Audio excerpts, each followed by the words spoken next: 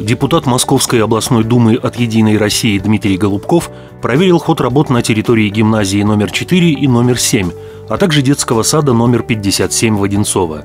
Здесь в рамках проекта «Новая школа» и программы наказов избирателей «Подмосковье. Территория перемен» ведутся ремонтные работы. Программа была сформирована на основании народной программы партии «Единая Россия».